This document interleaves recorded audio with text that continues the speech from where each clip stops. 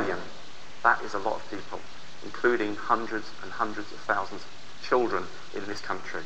Now, anybody who has been seen or identified We're to talking be about one part individual, of Lord that Holocaust, We're talking about one individual, Lord. Holocaust, And there was a chance in 1991 for that case to, have gone eh, ahead. I'm getting to that. Let me finish. Go on then. Anybody who has been a part of that Holocaust, because that is what it is, it's a Holocaust against our children, of which Janner stands accused.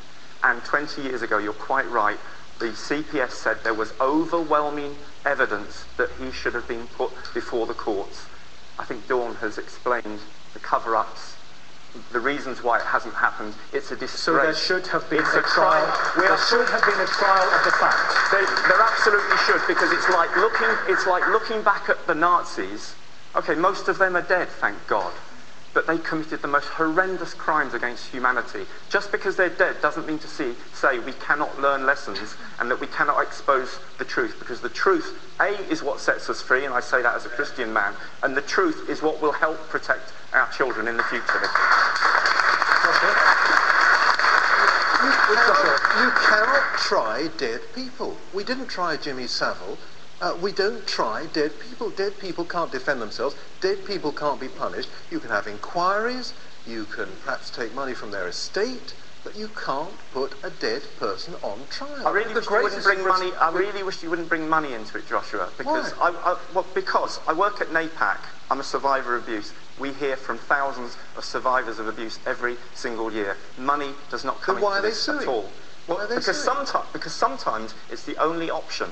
Well, it's not. One, one, one reason is, or a number of reasons. One is if you hit people where it hurts, and that is institutions in the pocket, then they may change. Otherwise, they won't change. And we know they haven't changed. Children are no less safe today than they were 30 or 40 years ago, which is criminal.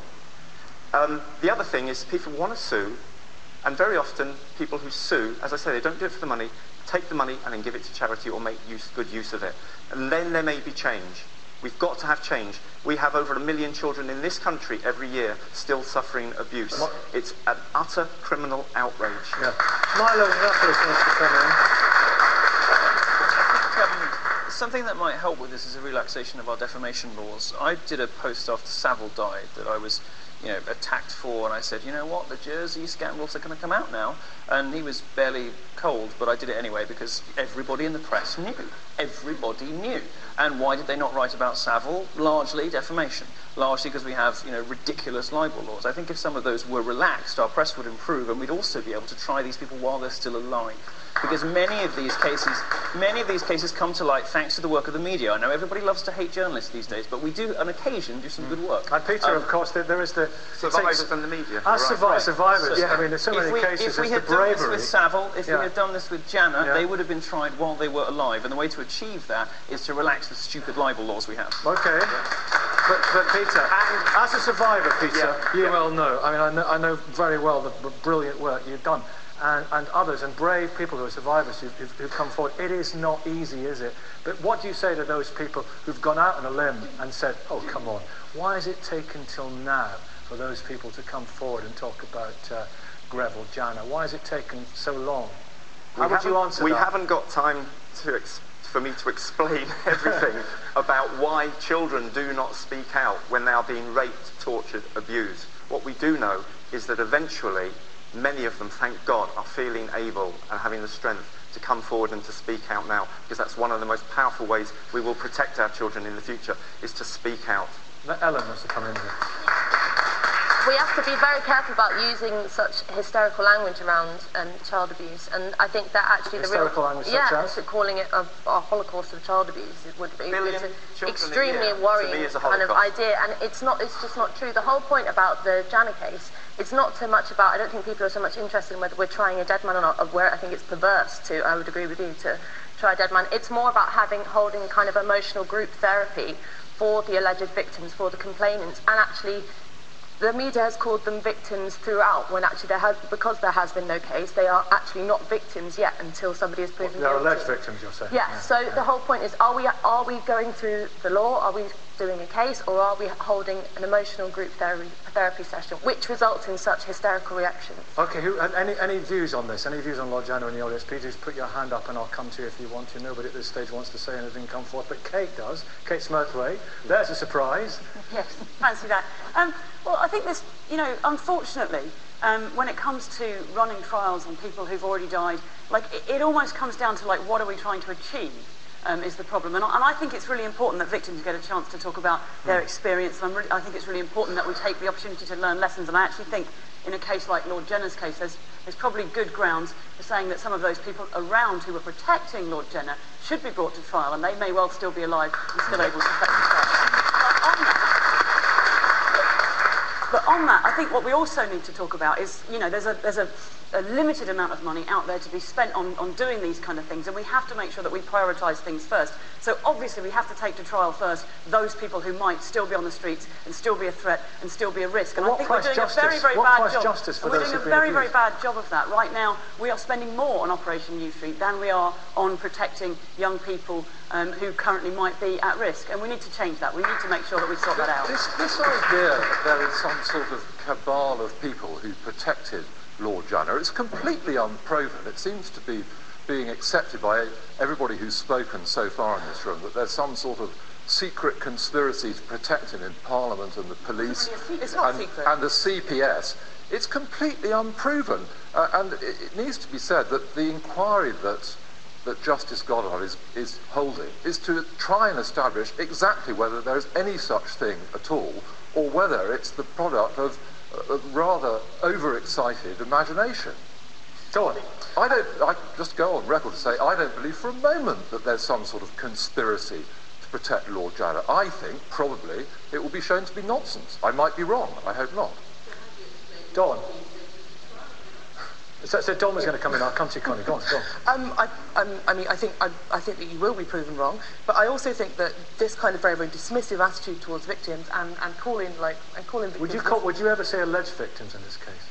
Uh, yes, I would. I, I, I, I, There's I, I. Are they alleged victims? Yes, are there they are, victims? yes. They haven't been proven to be victims yet because it hasn't gone I through the do, proper I do understand how proceeding. words work, but just if you bear with me a second, I think calling, I think calling alleged victims hysterical because of their use is absolutely, uh, is, is absolutely pathetic, and, and it, it diminishes their experience, and it's that sort of diminishing of people's abuse that has caused this to happen. A lot of the reason why people didn't come forward about Savile and Jan, uh, Janner sooner is because they were repeatedly told that their experiences weren't abuse over and over again. So I think we have to be very, very careful about about about how we how we talk to abuse victims about about about what they experience. Yeah, and Well, I agree do with have a really Joshua. What about the idea of the establishment, uh, you know, closing ranks on this one? Institutions, the establishment, politicians, all along the way, and protecting their own. I, I, if that were true, that would be bad, and I want to know whether it's true or not. The fact is that because uh, we've wasted uh, the past 10 months since the Director of Public Prosecutions said there should be no prosecution, uh, we don't yet have the report of a retired judge called Sir Richard Henriques, probably going to be published next week, which will tell us to some extent what went wrong with the Crown Prosecution Service and what went wrong uh, with the police investigation. Um, it was the police and the Crown Prosecution Service that decided between them effectively that Janner was not going to be prosecuted. I'm not aware of any establishment cover-up. I'm not sure how that could have been done. And what about all the people who we now think uh, were wrongly accused? Field Marshal Bramall, uh, Edward Heath, Leon Brittan, all these people um, who were accused uh, by anonymous people uh, of, of child abuse, and, and uh, the police investigate. Uh, they find there's nothing to it, and eventually, um, if the alleged uh, defendants, potential defendants, are still alive, they get round to telling them and telling the rest of us. I think if we don't expose the truth, if we don't put a spotlight on what's gone wrong in the past, and I hear exactly what Josh was saying about people that have uh, um, been accused and not found to have been having evid- evidence against them. But if, you know, we, we, were, we were talking earlier about the fact that we're going to spend 30,000 billion pounds on Trident. Or 30,000 That was actually billion. before we came on the air. I know so that, might but I'm just saying, I would, I, my, Yeah, my yeah, vote, yeah, my vote would be that we divert some of that wasted money into better social services, into the police, into all sorts of ways of protecting our children. Yeah, do you think this idea then that there's a there's a certain momentum for this at the moment, uh, Matthew? A certain climate. Do you think? Do you think we're living in, in different times to an extent? Well, I do think there is, and I think that social media probably has a lot to do with it. Um, uh, the idea that there is some sort of conspiracy to protect paedophiles has been given a lot of mileage by social media and, and certain websites who, who, who seem to make a great deal of it. And I think it's very dangerous because it does lead to the sort of, if I may say so, Peter, rather over the top language talking about a holocaust of, of, of billions and people being protected by, by uh, shadowy uh, cabals of, of, of, establishment figures. And I think it, it, it's something we've got to be careful about. And I quite agree with Dawn that we need to be very careful about the sort of language we use. And Peter, using a motive. I'm, I'm never histori- historical. I'm never hysterical about it. Cyril Smith as an example. Cyril Smith, MP. He had a lot Sir of friends around him who, who protected him. He was he? protected. That's he incontrovertible. the police were going to arrest that man years ago, and Special Branch, under the orders of their political masters, stepped in and prevented him from being apprehended, therefore he could carry on raping children. I, am not. And Savile had a lot of friends in high places, didn't he? But the fact that somebody has the fact that somebody has friends in high places doesn't mean well, their friends in high places are protecting them. I spend quite. A, I, I spend quite a lot of my time not just defending people accused of crimes against children, but prosecuting people accused of crimes against children.